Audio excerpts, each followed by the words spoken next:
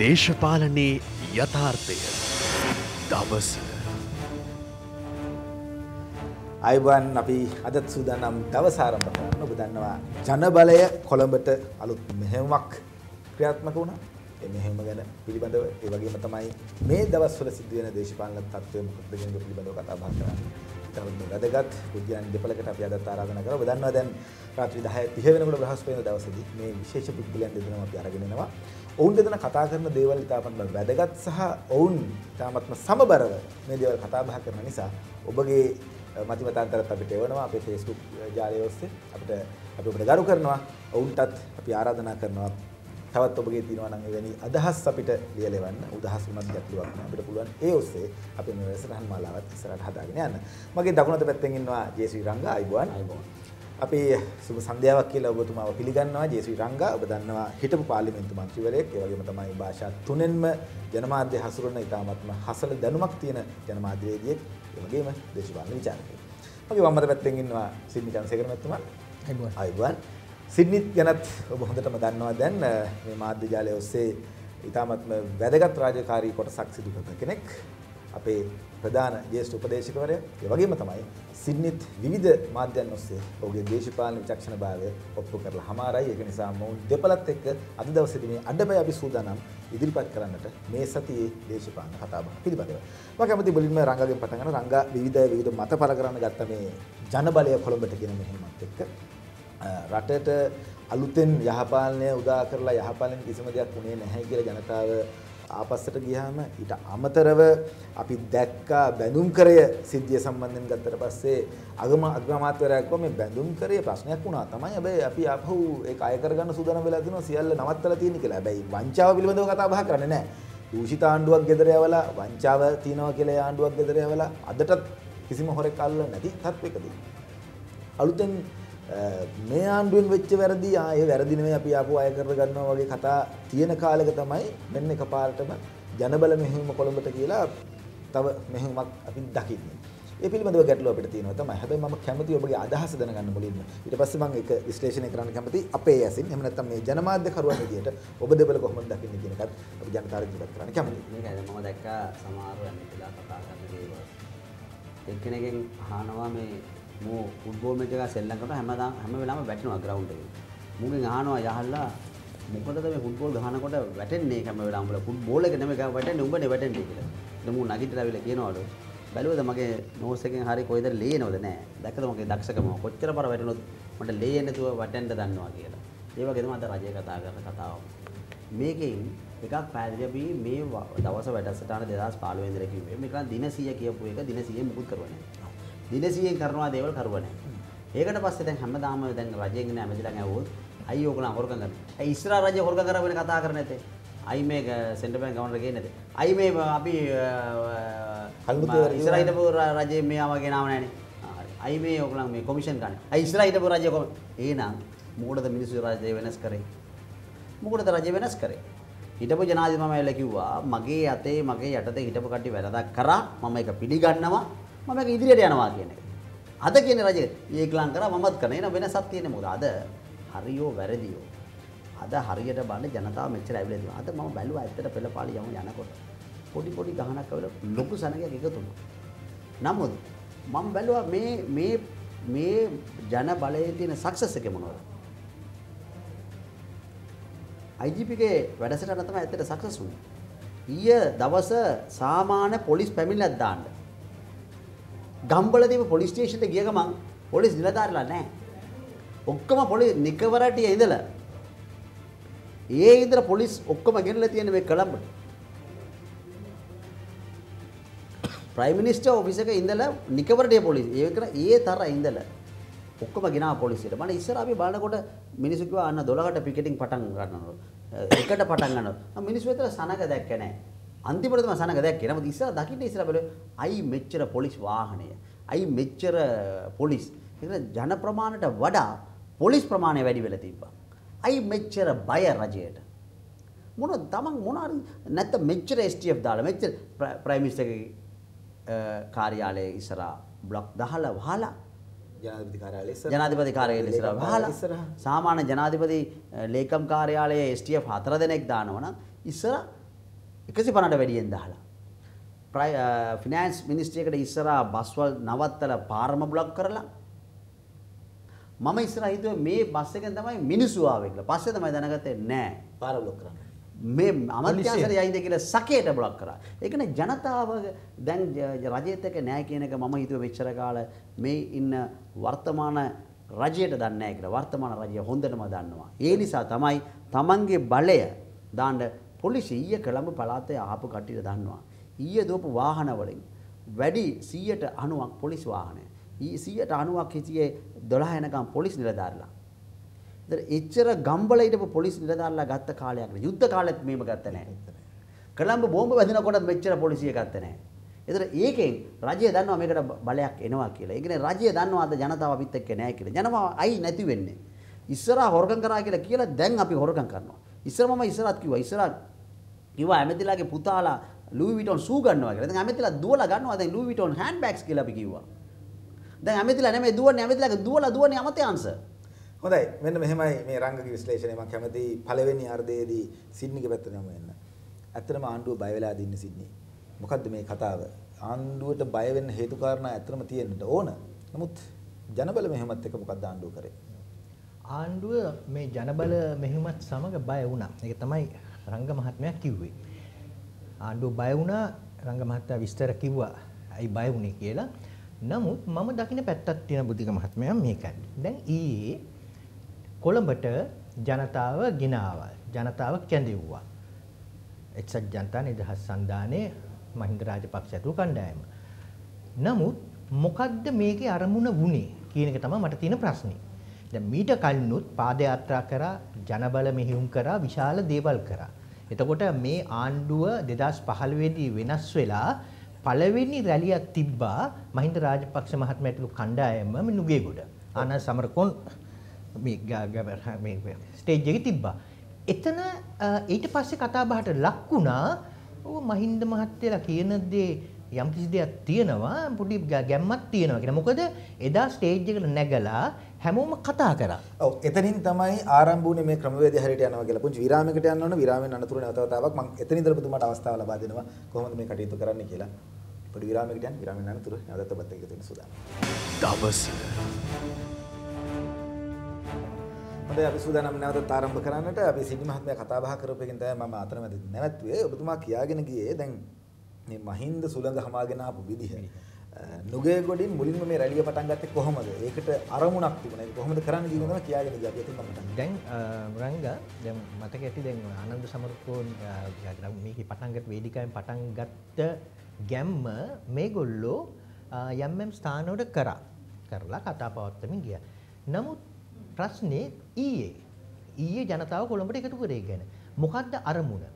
ජනතාව ආවා තැන් තැන් වල හිටියා කෑ ගැහැව්වා ඊට පස්සේ විසිරලා ගියා. කිසිම කෙනෙක් කතා කරාද එතනදී මොකද්ද මේකේ අරමුණ කියලා. ඒකෙන් මොකද්ද කරේ? ඇවිල්ලා කොළඹ වටලනවා කිව්වා. නමුත් වැටලීමක් සිදු වුණේ නැහැ. කොළඹ වැටලෙන්නේ කවුද? පොලිසියෙන්. රංග මහත්තයා කියන විදිහට පොලිසියෙන් තමයි කොළඹ වටලලා තිබ්බේ. කොළඹට ආරක්ෂා දීලා කොළඹ වැටලුවා. පොලිසියෙන් ජනතාවව ජනතාව කෑ ගැහුව නැටුව සින්දිකුවා ගියා. මේ ක්‍රමේ හරි නැහැ. මොකද හරි නැත්තේ මහින්ද රාජපක්ෂ කියන චරිතය ඇත්ත වශයෙන්ම මේ වෙනකොට ජනතාව අතරින් චරිතයක්. මේ චරිතය මීට වඩා උඩට ගෙනියන්න මේ වගේ දේවල් කරලා හරියන්නේ මම දන්නේ මහින්ද රාජපක්ෂ මහත්මයාට අපි දන්නවා මිනිස්සු කියනවා ජනතාව කියනවා මොලේ තියෙනවා බුද්ධිමත් දේශපාලනයක් කියන නමුත් මේ අවස්ථාවේදී මේ වගේ දෙයක් කරන්න මම හිතන්නේ බුද්ධියේ මෙහෙ පිටි හරි කියලා. හොඳයි ඔය ඔය සිද්ධි මහත්මයා කතාව මම කැමති රංග මේකේ දෙපැත්තක් තියෙනවා. දැන් මේ ඊයේ කරපු වැඩේ පිළිවෙලක් නැහැ. ජනතාව ඇවිල්ලා සමහරක් වෙලාවට අපි සමහරක් නාලිකාවල විතරයි දැක්කේ ජනතාව බැන බැන යනවා. තව සමහරක් නාලිකාවල අපි ජනප්‍රිය තත්ත්වයට ආවා කියලා විශේෂයෙන්ම සමාජ මාධ්‍ය ජාලය ඔස්සේ විවිධ අය විවිධ කතා කරන්න පටන් ගත්තා. මේ සිද්ධි මහත්මිය කියන කතාව දැන් මහින්දට මීට වැඩිය විෂන් එකක් තියෙන්න ඕනේ නැත්නම් දැක්මක් තියෙන්න ඕනේ. මොකද යහපාලනය හොඳ නැහැ කියලායි දැන් මේ අලුත් සුනක කමාගෙන එන්නේ. යහපාලනය හොඳ නැත්නම් ඊළඟට එන කණ්ඩායම ඊට වඩා හරි දෙයක් කරන්න ඕන. ඔබ මුලින්ම කියපු කතාව. මහින්ද හරියට වැඩ කරේ නැති නිසා යහපාලනය ගෙනාවේ. හැබැයි උනුත් කරේ බොරුව. දැන් මේ එන කණ්ඩායම මොකක්ද කරන්නේ? මෙතුමා මේ කියන කතාව ඔබ දකින්නේ කොහොමද? ඊයේ සිද්ධියත් එක්ක. නෑ ඊයේ මේමයි. දැන් මම ඉස්සරහා ප්‍රෝග්‍රෑම් එකක් කිව්වා. ඔව්. දැනට මේ රජයට තියන්නේම ඉස්සරහත් කිව්වේ ඡන්ද තියෙන්න විතරයි. තියපු ගම මේ රජය ඉවරයිද කියලා සැකය මේ රජයට. ඔව්. මේ රජය දන්නවා දැන් මේ රජය දන්නවා. ඒකයි දැන් බලන්න දැන් මොකද වෙන්නේ? එකොනොමි එක කලාම වැටලා. ස්ටොක් මාකට් එක වැටලා. රුපියල 160 රුපියල 160 ඉල වැටලා. ඔක්කොම කලා මොකද කරලා තියෙන්නේ? මොකුත් නැහැ. ලෝකේ ඉතිහාසයේ ලෝකෙම මේකට කිනස් රෙකෝඩ් එකට යන්න පුළුවන්. මේ කියන්නේ ජන බලයම නැතුව පාර්ලිමේන්තු බලය අල්ලගෙන විපක්ෂ නායකතුරිය තනතුරක් දීලා ඒක තනතුරක් විදිහටපත් වෙලා විපක්ෂ නායක TNA සන්දානෙත් එක්ක එකතු වෙලා මේ රජය පාර්ලිමේන්තුවට දුවනවා. නමුත් කවදාවත් ලංකාවේ තිබ්බ නැහැ කාලයක්. විපක්ෂ නායකතුමාත් රජයෙන් පත් කරන විපක්ෂ නායකතුමාත් රජයෙන් ප්‍රයිම් මිනිස්ටර් කියනවා හොඳම විපක්ෂ නායක ලෝකේ ඉන්නම සම්බන්ධන් කියලා. ප්‍රෙසිඩන්ට් කියනවා සම්බන්ධන් තමයි හොඳම නායකයා කියලා. කවදාවත් එහෙම ලෝකේ ඉතිහාසයක් තිබ්බ නැහැ. නමුත් ලංකාවේ ඒ වගේ කිනස් රෙකෝඩුත් එක්ක මේ යන රජය මම ඉස්සරහත් කිව්වේ මේ අවුරුදු තුනක් කිව්වේ ගොඩක් කට්ටිය ඒ හිටපු රජයෙන් හොරගම් කරා. උදාහරණ වශයෙන් RDA එකේ ප්‍රේමශ්‍රී. එයා RDA chairman, water board chairman, ලේකම් ඔක්කොම හිටියා. නමුත් එයාව මේ රජයට බැරි වුණේ ඇයි?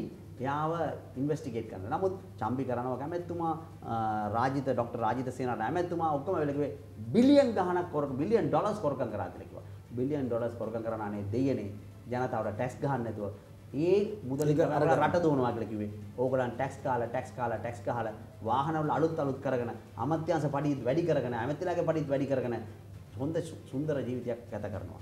මේකට මිනිස්සු කැමති නැහැ. නමුත් මම ඒ වගේම කිව්වා මේ වටේ ඉන්න මහින්ද රාජපක්ෂ හිටපු ජනාධිපතිතුමා වටේ ඉන්න හොරගම් කරපු කට්ටියත් ඒතුමාත් අයින් කරන්න ඕන. ඒතුමාත් දන්නවා. ඒතුමාත් දන්නවා එයාගේ වටේ හිටපු පිරිස හොරගම් කරපු ඒතුමා දන්නවා. ඒ කට්ටියත් අයින් කරන්න වෙලාව ඒතුමාට ආවිලා. මිනිස්සු දැන් ආයිසරේ බලාපොරොත්තු වෙනවා අනු අලුත් රජයක්. ආ, පිරිසුදු රජයක් බලාපොරොත්තු වෙනවා. නමුත් මේකයි මේ තැන දැන් ඔක්කොම දැන් මෙතන තියෙන ප්‍රශ්නය කිය- දැන් දැන් විශේෂ උත්සාහය කිව්වා. මම බැලුවා ඔක්කොම බේල් අවුට් කරලා. සමහර channel වල ලීඩ් ස්ටෝරි යන්න ඕන මේ නිවුස් එක 4th 5th වුණා. අයි 4th 5th වුණේ. ඒක නම් හිතුවේ අලුතෙන් ආවා මේ මේක දැන් දැන්ම මේ මේකලාට උසාවියද දඬුමත් දෙයි කියලා. උසාවියෙන් කිව්වා මේකලා බේල් අවුට් කරා. කෙලින් එතන බූස් ඒකම වැඩේ- ඉවර වුණා. නමුත්. මෙතන තියන්නේ ජන බලය මේ එනවා කියලා. මම ඉතින් ඒකාපත්ත විපක්ෂයට වඩා බය වුණේ ආණ්ඩුව. මේ මේකට මිනිස්සු වෙනවා වැඩි කියලා හිතුවේ රජය. ඒ නිසා තමයි මදවාච්‍ය හම්බන්තෝට මාතර කැන්ඩි යාපන ඔක්කොම පොලිසිය ගෙනාවේ. කොළඹ වටලන්නේ. මේ- ජන බලයට පොලිසිත් එකතු වුණාද කියලා මට මට එකපාරට දැන් වෛද්‍යරු එකතු වුණානේ මම බලනකොට ඉන්නේ පොලිසිත් එකතු වුණාද මේ මේ මේ ජන බලය. සිද්ධාර්ථ මේ මේ මේ කතාවත් එක්ක දැන් නැවත වතාවක් අපිට පැහැදිලිව පේන්න තියෙන කතාව තමයි අ, අලුත් රැල්ලක් ඇවිල්ලා තියෙනවා. මීට කලින් 2015 දී රැල්ලකින් තමයි ආණ්ඩුව වෙනස් වුණේ. රැල්ලකින් ආණ්ඩුව වෙනස් වුණාට ජනතාවගේ බලාපොරොත්තු කිසිම දෙයක් සිදු වුණේ නැහැ. ප්‍රජාතන්ත්‍රවාදී ස්ථාපිත කරනවා කිව්වා බොහෝ කාරණා කිව්වා. හැබැයි ජනතාව බලාපොරොත්තු වෙච්ච ආකාරයෙන් කිසිම දෙයක් සිදු වුණේ නැහැ. මේ වෙනකොට අලුත් රැල්ලක් ආපහු හමාගෙන යනවා. මේ රැල්ලත් එක්ක නැවත වතාවක් පරණ කණ්ඩායමම නම් එන්නේ. මම මේ කතා කරන්නේ මහින්ද රාජපක්ෂ කියන චරිතය ගැන නෙවෙයි. අනිකුත් දැන් මහින්ද මහත්මයාම කියනවා ඇවිල්ලා අපේ කණ්ඩායමදී වැරදි වුණා. ඒ වැරදි ටික අපි අයින් කරගමු. වැරදි කරන මිනිස්සු ටික අයින් කරගමු. අයින් කරලා අපි හරිතැනකට යමු කියලා. ආපහු මේ ඒකමද වෙන්න හදන්නේ. පිළිවෙලක් නැති රැලි පවත්වලා එහෙම නැත්නම් ඒ රැල්ලේ උවමනාව හරියාකාරව තෝරාගත්තු නැති කාරණාවක්. ඔව් දැන් දැන් ජනතාවට තේරෙන්නේ ඒකයි. මටත් තේරෙන්නේ ඒක. දැන් රැලි ආවලා. අපේ දේශපාලන ඉතිහාසයේ රැලි කීපයක් ආවා. එක රැල්ලක් තමයි 56 ආවේ රැල්ල බණ්ඩාරනායක මහත්තයාට ගහපු රැල්ල. ඊට පස්සේ 77 රැල්ල ජේ.ආර් ජයවර්ධන මහත්තයාට ගහපු රැල්ල. ඊට පස්සේ ආව චන්ද්‍රිකා බණ්ඩාරනායක මැතිණියට ගහපු රැල්ල 94. මහින්ද රාජපක්ෂ මහත්තයා රැල්ලකින් ආවේ නැහැ. එතුමාත් ඒ පක්ෂෙන්ම ඇවිල්ලා ආවා.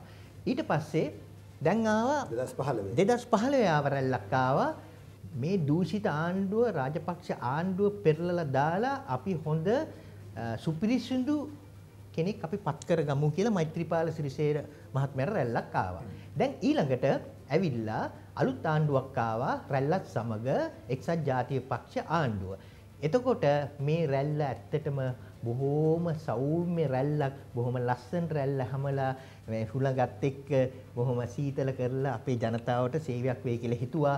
නමුත් ඒ රැල්ල බොහොම ගිනියම් වෙච්ච මහ දැඩි ඡණ්ඩ පුනාටුවක් වගේ රැල්ලක් ජනතාව වෙත හැමලා තියෙන්නේ දැන් මේ රජයත් එක්ක. එතකොට ඊට පස්සේ අපි බලාපොරොත්තු වෙනවා ජනතාව හරි එහෙමනම් දැන් ඊළඟ රැල්ල හැමයි කවුද මහින්ද රාජපක්ෂ මහත්මයාගේ රැල්ල දැන් මග පෙනිපෙනි තියෙනවා.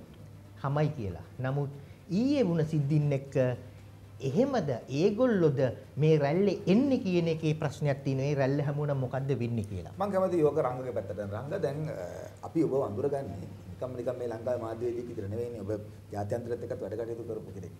අ, මෙහෙම ආණ්ඩුවක් රජයක් බල කරන්න බය කරන්න බලෙන් කණ්ඩායම් එකතු කරගන්න මේ වගේ දේවල් කරනවා. ලෝකෙ විවිධ රටවල් වල මෙහෙම දේවල් කරනවා. මට මතකයි කාලෙකදී අ, මුලින්ම මාලදිවයිනේ අ, පැවති අබ්දුල් ගයුම් රජය මාරු කරන්න මේ වගේ රැල්ලක් පැවතුණා. එතකොට ජනතාව එක තැනකට ගෙනල්ලා ආණ්ඩුව පොඩ්ඩක් බය වෙනවා මේකත් එක්ක. මේකේ සාධාරණීකරණය තියෙන්න පුළුවන්. මම කැමති ඊයේ தත්තේ ආණ්ඩුව ඔබ පැහැදිලිව කියනවා මේකෙන් ආණ්ඩුව බය වෙන්න ඕන. මොකද සාමාන්‍ය මිනිස්සු වගේම පොලිස් කණ්ඩායමුත් මෙතනට ඇවිල්ලා තියෙනවා. ඔබට අදහසක් තියෙනවද ලෝකේ ජන සම්මතත් එක්ක ලෝකේ වෙන මේ වගේ දේවලුත් එක්ක මේකේ අ, සාධනීය තත්ත්වයන් තියෙනවා කියලා නැත්නම් මේකේ හොඳ පැත්තක් තියෙනවා කියන එක මේ රටට මොනවා හරි හොඳක් සිද්ධ වෙයි කියලා ඔබට මේකෙන් අදහසක් තියෙනවා. අනිවාර්යයෙන්ම දැන් මට ඉස්රායල් රජයෙන් හොරගම් කරා කියලා රාජිත ඇමැතුමා චම්පික ඇමැතුමා ඔක්කොම කිව්වනේ මේක බිලියන් ගණනක් හොරගම් කරා බිලියන් ඩොලර්ස් හොරගම් කරා කියලා. ඔව්. එහෙම කියලා මේ රජය මොකොත් කරව නැතු ඉන්නකොට ඒ පැරදිච්ච රජය ආයිශ්‍රයක් නවතවාර බලයට ගැන ජනතා සූදානම් වෙන්නේ ඇයි?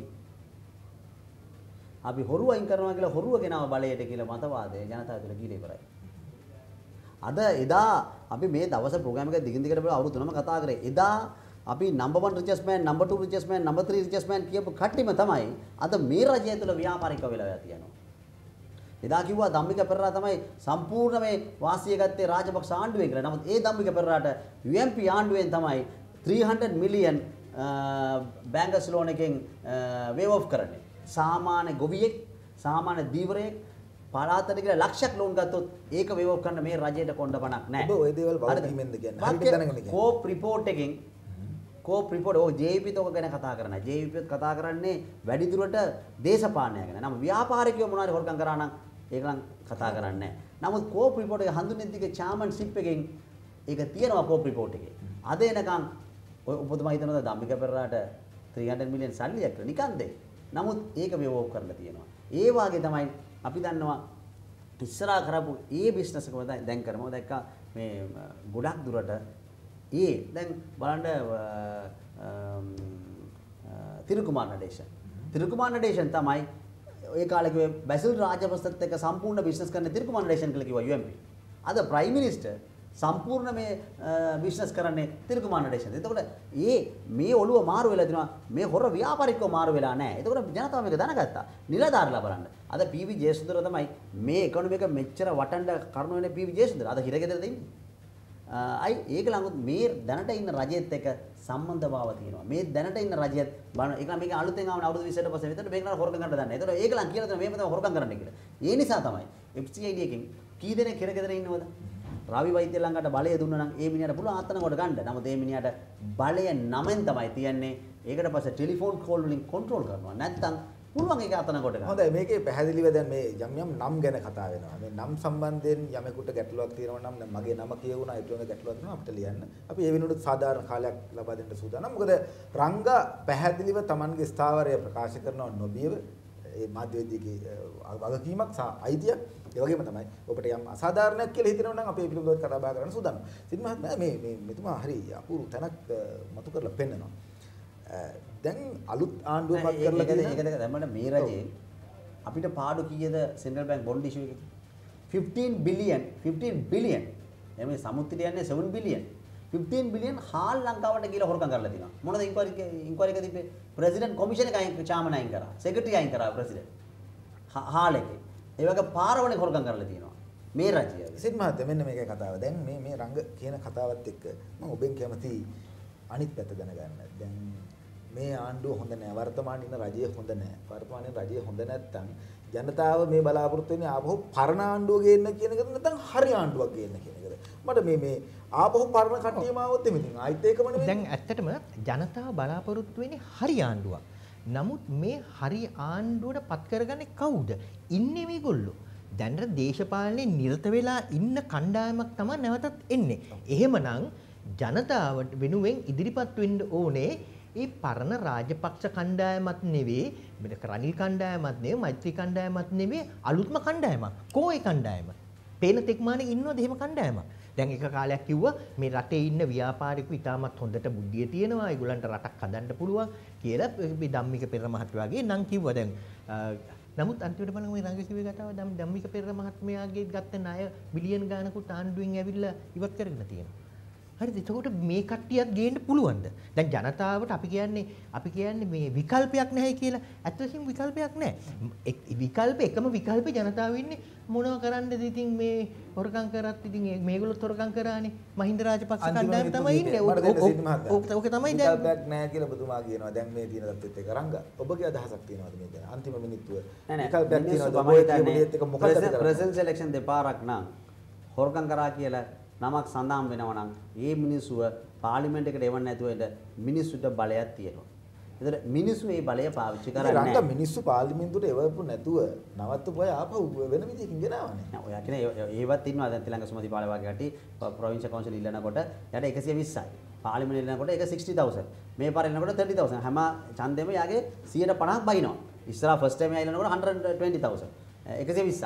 ඒකට පස්සේ 60000. ඒකට පස්සේ 30000. එයාගේ හැම ඡන්දෙම යට 50% බයිනවා. මෛත්‍රී පාඩ කියලා කිව්ව ඔබතුමාත් එක හිටිය නිසා මම බැල එතුමා ජාතික ලයිසුව ගෙනාවා. ඒක තමයි ඒක ඒ වගේ ප්‍රශ්න. නමුත් ඒම ජාතික ලයිසුව ගෙනාපු කට්ටිය මේ පාරේ නමුත් ඉස්සරහා අපි ඒම කට්ටිය තෝරු තෝරලා තියෙනවා ගොඩක් දුරට ඩිස්ට්‍රික්ට් වල නම්බර් 1 උනේ මොනාරි කුඩු කේස් එකෙන් අවුච්ච කට්ටිය. නැත්තම් හොරකම් කරපු කට්ටිය.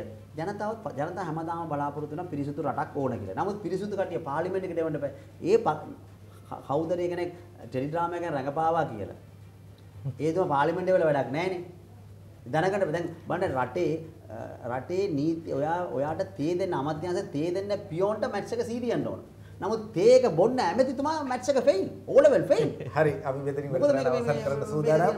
මට අපේ නිෂ්පාදකතුමා කසුන් හරි අපූර්ව කතාවක් කියනවා දැන්. පොල් ගෙඩිය ගන්න හොලවල බලලා, පතෝල කරලා ගන්න ඔබල බලලා, දලඹ ගන්න, දඹල ගන්න පොඩ්ඩක් කඩලා බලලා හැබැයි අපි മന്ത്രിවරු තෝරගන්නකොට එහෙම එකක් නෑ සිත් මහත්මයා අන්තිම මිනිත්තුවේ දුන්නා ලස්සන කතාවක් කිව්වා රංග මහත්මයා මේ වැඩසටහන පටන් ගන්න ඉස්සෙල්ලා මේ මේ ආණ්ඩුව ගැන කතා කරනකොට මම රංග මහත්මයෙන් ඇහැව්වා දැන් මේක හරියන්නේ නැහැ. දැන් ඊයේ වැඩෙත් ඇවිල්ලා ෆේල් මිනිස්සු ගෙනල්ලා නිකන් අරමුණක් නැතුව කරා දැන්. මිනිස්සු ආවා. මිනිස්සු ආවා අරමුණ නැතුව ෆේල් දැන් ජනතාව මොකද්ද කරන්නේ මේ අලුත් කට්ටිය අරන් කොහොමද මේකට යන්නේ? ඒතකොට රංග මහත්මයා කියනවා බබා අඬන්න ඕනේ අම්මා කිරි දෙන්න. මම බබා අඬන්න අම්මා මට මතක් වුණා අර කිරි අඬන්න ඕනේ කිරි එරෙන්න කියලා. ඒ වගේ බබා අඬන්න ඕනේ අම්මා කිරි දෙන්න. රංග මහත්මයා කිව්වේ ජනතාව කෑ ගහන්න ඕනේ ඉල්ලන්න ඕනේ හරි කෙනා පාර්ලිමේන්තුවට යවන්න. අපි අද දවස් මෙතනින් අවසන් කරනවා ලබන සතියේ බ්‍රහස්පතින්දා රාත්‍රී 10 తీරව හැම මේ බලාපොරොත්තු වෙන ඔබ දන්නවා රාත්‍රියේදී මේ දෙපළ ඊටම රසබර කතාවකට අරගෙන එවි හිතන්න යමක් තියෙනවා මේ අවධානයෙන් අවබෝධයෙන් කළ යුතු ඔබගේ දවස. සුබ රාත්‍රියක්.